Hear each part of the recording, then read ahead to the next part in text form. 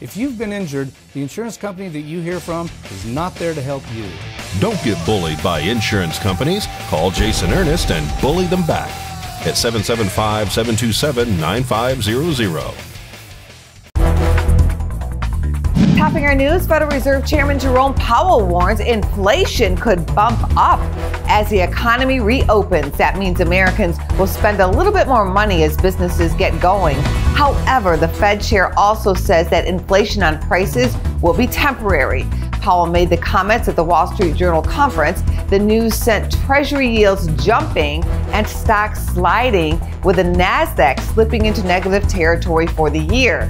Traders fear it could mean a rate hike is on the way, but Powell says the Fed is in no rush to raise rates.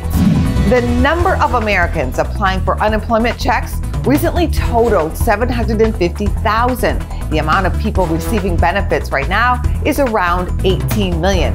Factory orders rose more than expected in January to 2.6%. Economists predicted a rise of 1.2%. Manufacturing accounts for 11.9